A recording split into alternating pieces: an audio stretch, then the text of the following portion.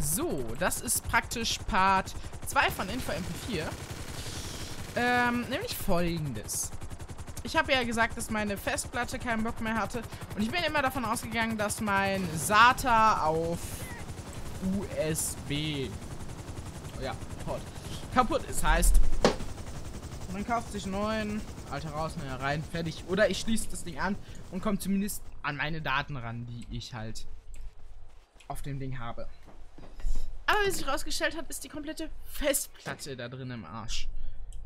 Heißt, ich krieg gar nichts mehr davon. Einschließlich irgendwie drei, vier unreleaseden Videos. Und das Beste ist immer noch einschließlich von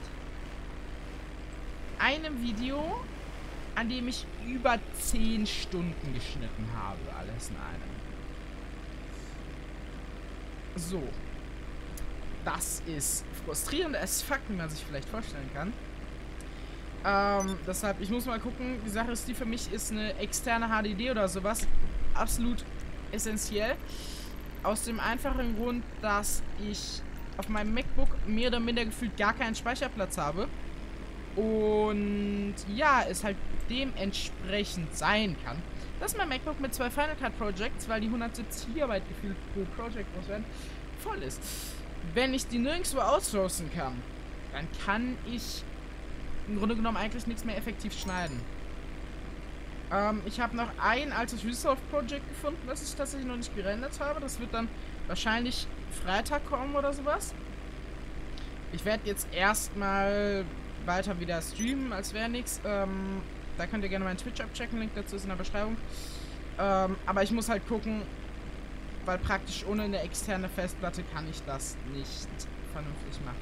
Das ist so die Sache.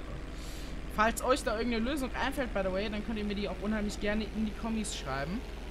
Ähm, die jetzt nicht vielleicht beinhaltet, kauft ihr eine neue 300 Euro Festplatte. Dann, äh, ja. Was ist von dem Infovideo? Äh, ich halte euch nicht länger auf. Schönen Abend. Und wenn ihr irgendwie eine Lösung habt oder irgendwas, was mir helfen könnte, by the way, mir gerade selber schwindelig von den 3000 Loopings, schreibt es mir doch sehr, sehr gerne in die Kommentare. Wäre unheimlicher Ehrenruf. Ciao.